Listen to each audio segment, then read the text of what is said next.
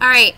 So there's a couple ways to get your inner painter on in Photoshop and one of the ways is to take the tools like the paintbrush and paint on a blank canvas. Another way is to use the pre-existing colors and pixels and alter them. And that's what we're going to do today. We're going to modify the paint that's already there in the pixel colors.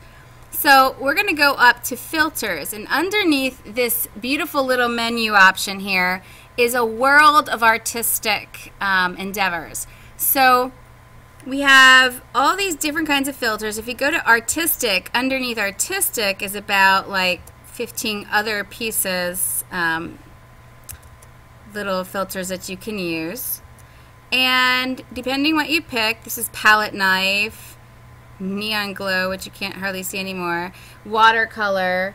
Um, these are going to change change the look of everything. Um, you don't have to do artistic. You can do sketch and you can, oh, not doing anything there. So let's just cancel right out of that you can go through these later. Distort, under distort, you can go to ocean ripple and make it look like um, what you're seeing is underwater or through glass. Okay, so that's a pretty fun effect. Um, but I want you to know all that is there. The powerful filter I'm going to show you today is called Liquify. And I may have shown you this a little bit already, but I'm going to take the brush size down to a decent size and brush density. We'll see how that goes. On the uh, left hand side are all the tools and liquify basically liquefies all the pixels into wet paint. So if you start with the tool up top, it's like running your finger through wet paint. Okay, and you can finger paint with all the beautiful little pixels that were just in order. I'm going to do Control Z and get back out of that to change that, my brush density is like the pressure of your finger. If it's up all the way, it's like you're digging your finger through wet paint. If it's down low, it's like you're lightly, you know, going over the paint while it's drying. Okay, and I'm going to reconstruct that. Uh, restore all, there we go. I can twirl something clockwise, pucker, or bloat. Let me use the bloat tool. And I love using the bloat tool with a pretty high density because what it does is it blows up the area like a bubble. So it acts like a three-dimensional bubbleizer.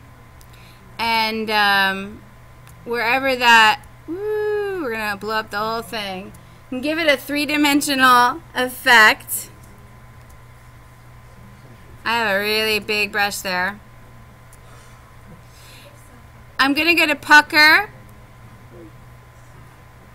Pucker is going to act like a black hole, so wherever the cr crossbar is, it's going to suck all the paint into that. So this is really great um, in some areas. There we have like cell mitosis or meiosis, whatever we're calling it. Um, and this is fun to just lead the paint around almost like a zipper. It'll follow. Okay. So we're going to restore all. Okay. So what happens if you want to save an area but you want the rest to be played with?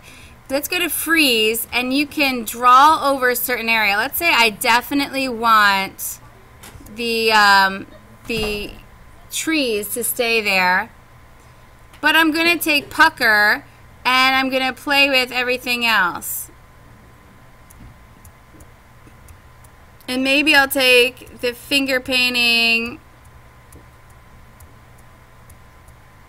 and move it around. I guess I didn't do freeze in the bottom here. Notice how freeze froze that stuff in place there. And if I want to unfreeze it, I will go to thaw.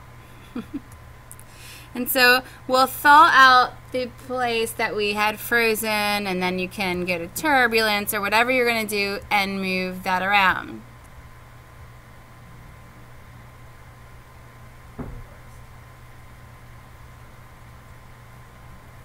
Now, we're going to make what I'm saying is an abstract painting because I want you to experiment with the filters and see what's there and what's interesting to you. After this is done, you can go back to filter and you can say um, solarize or you can go back to filter and um, render and go into a lens flare. You can go into filter and distort and put a ripple into it. Okay, and basically make your own abstracted background because you're going to make this into a journal cover for your art journal. Um, so once that's done, you can take this into PicMonkey and add a label to it.